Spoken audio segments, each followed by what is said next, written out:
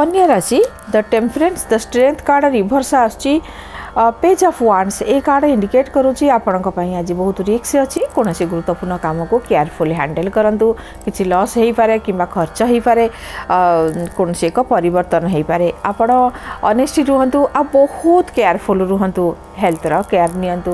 ଆପଣଙ୍କର ଦାନ୍ତ ସମ୍ବନ୍ଧିତ କିମ୍ବା ଗଳା ପାଟି ଏଇସବୁ ସମ୍ବନ୍ଧିତ ଯଦି କିଛି ସମସ୍ୟା ଅଛି ଆକୁ ନେଗ୍ଲେକ୍ଟ କରନ୍ତୁ ନାହିଁ। କୌଣସି ଗୁରୁତ୍ୱପୂର୍ଣ୍ଣ ଦିଗରେ ଆପଣ ଆଜି ବ୍ୟସ୍ତ ରହିବେ।